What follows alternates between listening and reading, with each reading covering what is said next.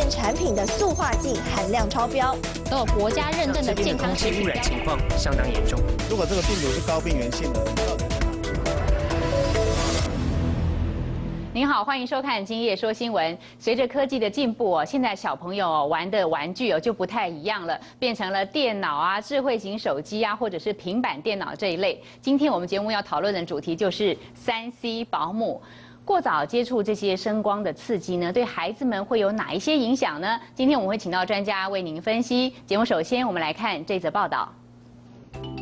低着头点啊点，今年就读小二的蕊蕊很喜欢玩妈妈手机的游戏，拿到手机就让她变得好兴奋，一认真起来，完全沉迷在网络世界。儿福联盟调查十二岁以下的儿童使用三 C 产品的状况，发现有两成的小孩拥有自己专属的三 C 产品，像是平板电脑或者是手机，而这些孩子有近三成的人每天使用超过一小时，超过四成的人每天用不到一小时，还有少数孩子甚至一天。天使用超过四小时，专家表示，很多电动游戏节奏太快，孩子长期使用容易产生不耐烦的性格，还可能会过度兴奋，影响学习。在山西的很多产品，那个游戏其实节奏很快，所以其实变成说孩子很习惯这么快速的一个反应。好，那还有说一那个注意力持续力其实会比较短一点。调查里更发现，有超过八成的家长都会依赖三 C 产品作为吸引或者是管教孩子的工具，似乎成。为三 C 保姆，专家建议家长孩子使用三 C 产品时，一定要全程陪同，而且千万别过度依赖。孩子成长过程也应该多多接触大自然，或者从事户外活动，有益身心发展。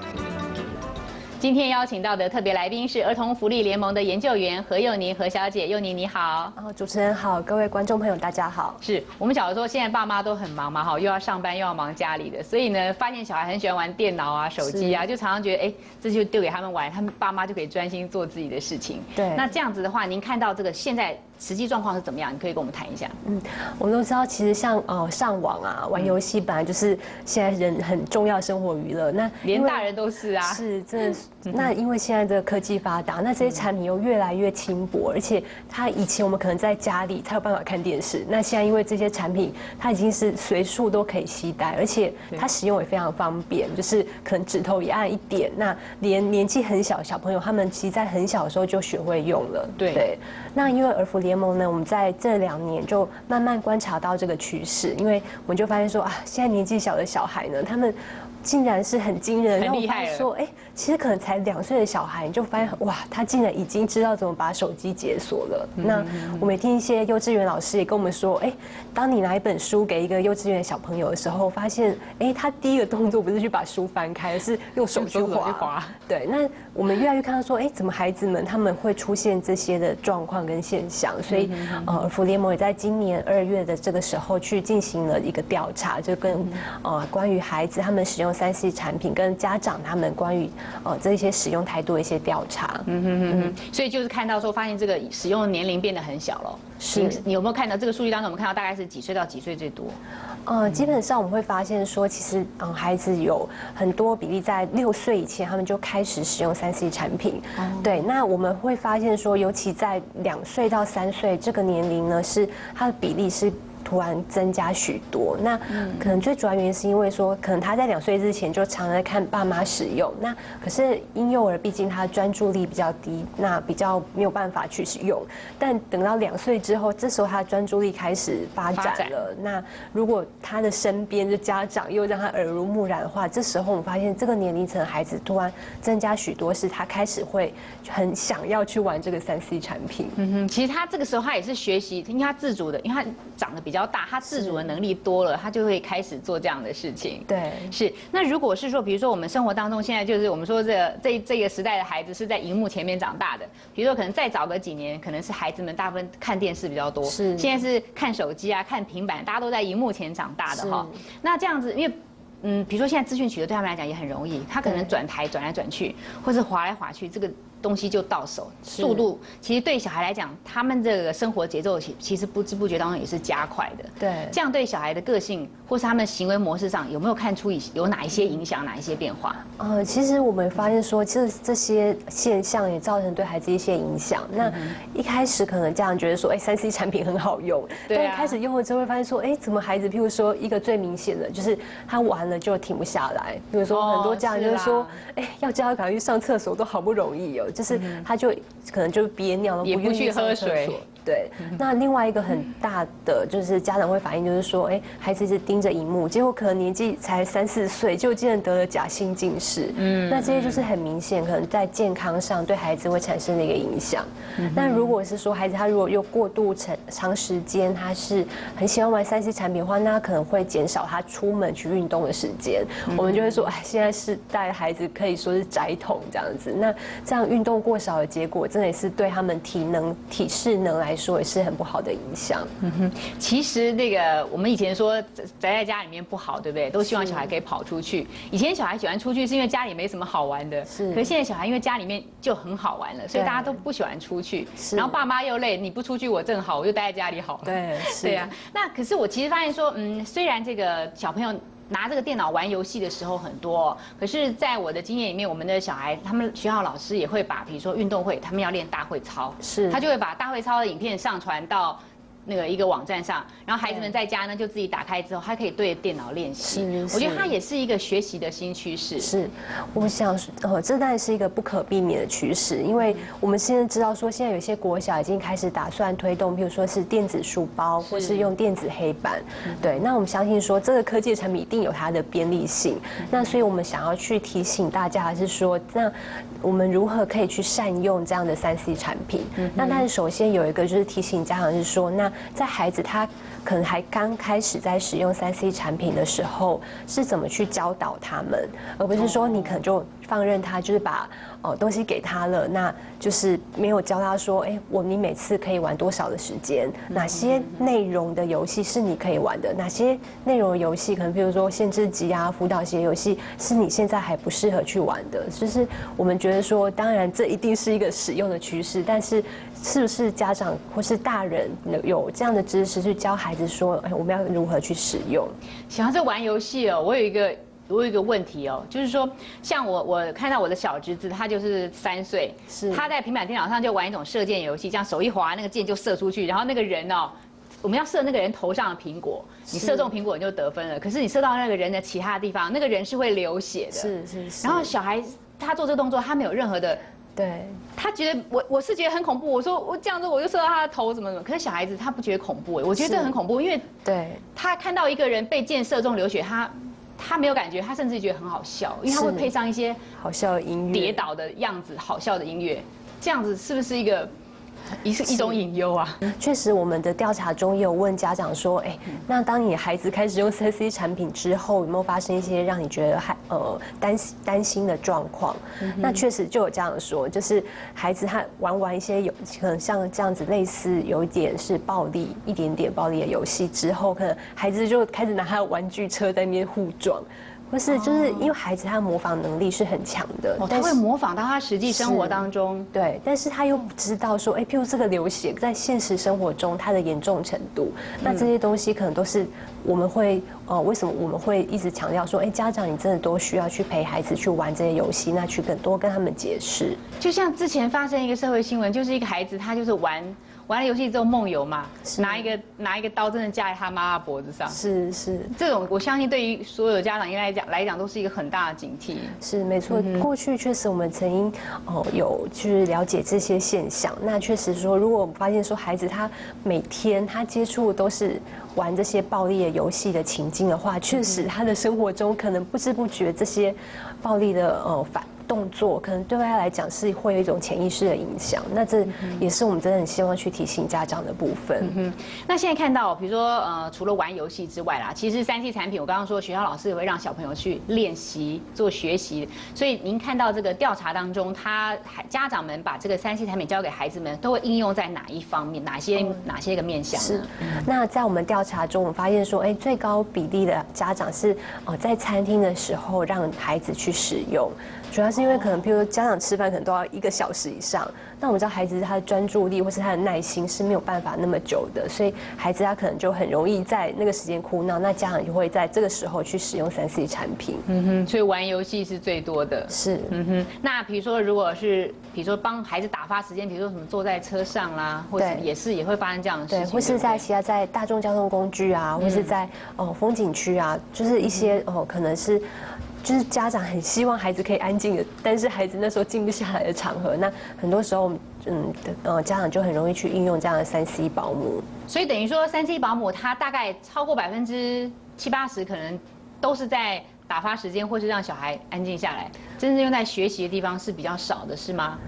呃，因为我们调查主要就是调查在关于这个安抚的现象。那哦是，所以小孩的年龄是比较偏低的。呃，就是十二岁以下的小孩。嗯，对了解。其实现在这个随着时代的演进哦，啊，现在小朋友是低头低头族哦，看电脑。其实，在我们从前的童年跟现在童年，其实在这十年内，其实变化相当的快速。我们来看一下这段影片。好奇把玩着阿公阿嬷时代的响铃，还有这一个单手就能操作的掌中马戏团，没有光鲜亮丽的外表和五光十色的装饰，却还是让小朋友玩的不亦乐乎。按住，按住这个，大力按一下，它就会可以就直接转动。它没有装电池，是不是？没有，觉得好不好玩？仿佛走入时光隧道，小朋友来到玩具博物馆，馆藏里多到数不清五六零年代的童玩，就连大人们也勾起了儿时记趣。以前玩的都是呃不用不用电池，比较环保的。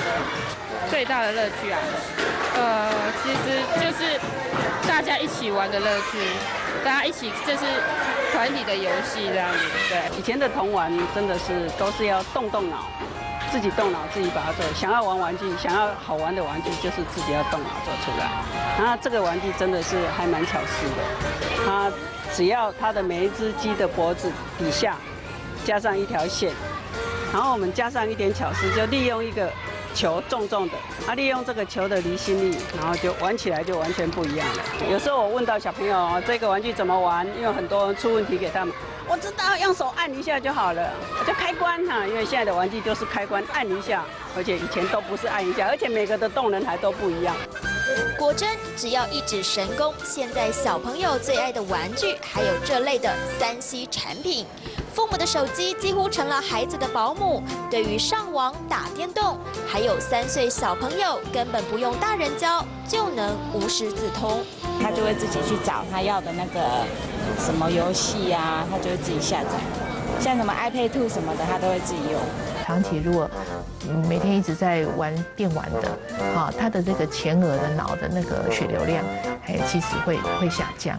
哎，因为大家知道玩三 C 产品哈，或是玩那些什么电玩，哎，大概就是几个动作而已嘛，因为它要让你简单好玩嘛。临床医师更发现，三 C 产品的吸引力对于无法自我克制的孩童阶段，很容易衍生出严重的成瘾问题。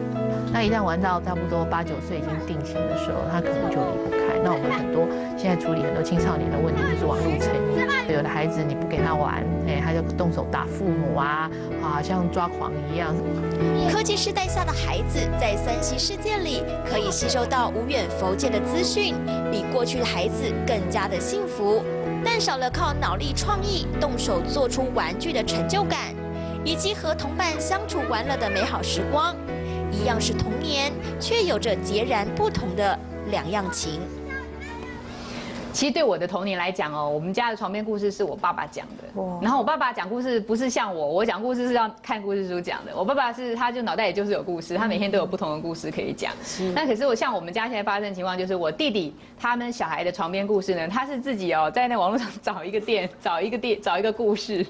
然后放给小孩看。然后我弟弟躺在旁边，然后有的时候跟着一起一起听，有时候就自己先睡着了。就是说，哎，这连讲那个床边故事，那个亲子互动都不太一样。嗯。这边请教佑宁，就是说，您看看这个现在比较多依赖产电子产品的情况之下，不管是拿来玩游戏，或是觉得说，哎，听故事应该也不错啊。可是亲子之间的互动是不太一样的。是，呃，随着真的三 C 产品的发达之后呢，我发现说，哎，它确实是我们的非常爱用的一个工具。但我们发现说，哎，它不知不觉中也会造成亲子互动一些状况的改变。我呃举几个很简单的例子来说好了，譬如说，我们看到说，哎，大人跟孩子平常如果他们晚上回到家里面，我们是。常看一个状况就是，哎，每人人手一机，对，可能爸爸在上网，妈妈可能看偶像剧，然后孩子有可能在也是在上网，或是在玩游戏，或反正每个人手上前面都有一个，是，就是人手一机的状况。那我们就会发现说，哎，其实本来大家家人相处的时间，可能应该是像刚刚您所说的，就是有一个直接的互动，对。但我发现说，哎，我们现在互动中多了一个第三者，就是这些三 C 产品，对。那我这些三 C 产品本来它的用意可能是，哎，去联系我们家人的关系，但是当我们一不警觉发而呃太过沉迷的时候呢，这个三 C 产品反而是造成我们家人关系一个疏离的一个来源。嗯哼，对。而且，变成说，这样是不是应该从我们爸爸妈妈开始做起？就是我们自己回家，我们自己就不要坐在电脑前面，自己就不要一直在看手机，是总要有一个以身作则，才能够。教是不是这样？是没错，确实也有家长跟我反映说，哎，当他们发现说孩子已经太过沉迷三 C 产品的时候，他们可能家庭里面也会有一些转变的方法，比如说，哎，他们就是有规定一个一起吃饭的时间，那吃饭时间中我们都会聊天，那。有时候大家会觉得说，哎，我现在不知道聊什么话题，那可能就会有一个主题是说，哎，每个人都分享说我今天最开心跟最不开心的事情，那可能就是有一个时间是大家可以知道说，哎，你今天好不好，而不是妈妈看了 Facebook 上才知道说，啊，小孩今天在学校怎么了，小孩的心情是什么？其实我们可以有一些更直接的方法去，呃，多跟我们身边的家人去互动。嗯哼，谈到亲子互动，还我们小时候我们的童年很大部分的记忆是爸妈带我们出去玩。那如果现在是这样的情况，您觉得如果这个在虚拟世界当中学习跟户外的这个活动参与活动的参与，然后接触大自然，它其实还是会不一样的嘛？对，没有错。虽然三 C 产品它可以提供很多的功能，但是我们也知道说，对婴幼儿来说，他们其实他们的大脑正在发展。所以他们其实大脑大脑发展的过程中，他们需要很多真实的接触，透过他们的嗅觉啊、触觉啊一些跟东西互动的发展，这样才才可以刺激他们的大脑。但如果是长时间是依靠三 C 产品，毕竟它可以所提供的资讯是有限的。那在这样的状况下，确实我们看到说很多，譬如说美国小儿科医学会，他有提出这样的警告，希望说两岁以前的婴幼儿不要太大量，是应该说。完全不要去接触电视，或是有类似功能的三 C 产品，因为他们觉得说这是会影响婴幼儿他们一些语言啊、智力上的发展，整体的感官发展都会受到影响。是，嗯哼，我我觉得除了这个家里面的环境改变之外，哈，我觉得在外面常常看到那个餐厅里面坐一群那个青少年，然后其实大家坐在一起吃饭，就是应该是要聊天嘻哈，就不是哎，也是每一个人这样子自己在看自己的东西。对，这样子同学之间，呃，是不是因为？呃，太大家都有智慧型手机的关系了，大家可能聊天变我我他我同我竟然我自己的女儿，她在跟她旁边的同学两个人在互传那个 Facebook 的讯息。是，我说你们俩不就坐在隔壁吗？可是他们觉得这样也没什么不好。对。可是我觉得他这样，他没有开口跟人家讲话，对，他没有眼睛去看着对方，是对，这样对人际关系会不会有一些什么不一样？是，确实这也是很多专家会有一些担忧的部分，因为毕竟。连呃，Facebook 上或是或是一些呃网际上的沟通，它只有文字，它没有声音的语调或是姿势，所以孩子他们没有办法从别人一个表情或是他的动作多去了解说，哎，现在我对面的这个人他心里面的想法或是他的心情是如何。如果我们真的是太过去依靠这个科技产品的而来呃维系我们关系的话，现在孩子可能在这方面人际关系技巧。或是了解别人情绪这部分都会有一些困难，对，他就很难跟一个人来交心，很难跟一个人做一个很好的一个连接。对，嗯哼。现在还有一个情况就是说，呃，就像您刚刚讲，建议这个两岁以下的小孩不要接触。是。那我发现说，呃，就我自己的侄亲侄子哦，他就是应该是应该是两岁多就开始，所以他他的个性很，他变得很没有耐心，因为平常我们在在电脑操作。遥控器啊，或是换什么页面，其实就是很快一瞬间。所以他现在对于很多事情，他的那个耐心度变得很很低。对，那这样子的话，这个过早接触这样的东西，对孩子的身体、心理各有哪些方面影响？是，那刚才陈如刚才您所说的，那就是有精神科去指，精神科医师有指出说，哎，如果过度长期使用三 C 产品的孩子呢，他们很容易出现几个状况，包含是譬如说他们思考僵化。因为他们可能就是没有一个弹性，就是一个跟别人沟通的那个过程。另外就是他们很容易是情绪不稳定，因为呃网络上很多声音、影像刺激都是很快的，那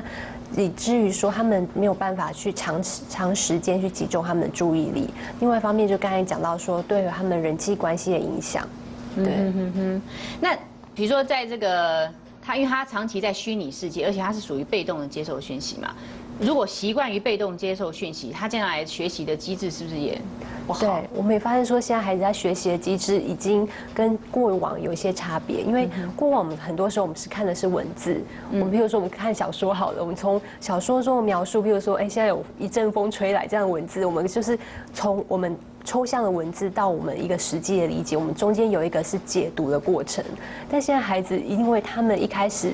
接受到的就是图像，就是影像，是很快的，所以他们很多时候他们缺少了这样一个抽象的过程，所以也确实有很多心理专家去指出说，哎，现在孩子可能这个心理发展的中间这个阶段，很多时候他们已经是。被就是呃训练的不够，他们很多时候他们没有办法很轻易的去运用跟使用文字，或是去理解文字，因为他们已经太过习惯是图像式的思考了。他等于没有实际的生活的经验，或是他的那个想象力都已经。被提早拿掉是，嗯哼哼。那谈到就是我们以前说这个很爱看电视的儿童会变成那个马铃薯儿童，有没有？是，就是每天坐在家里。现在玩电脑会发生这种事嘛？眼睛啊，身体。对，确实很多家长就是说，哎，他们第一个最担心就是孩子他只要每次一开始玩了，他就是停不下来。比如说，啊，每次叫他去上厕所也不愿意去啊。那因为又因为长时间一直看荧幕嘛，那可能小小年纪就得了假性近视，就是家长就是说，哎，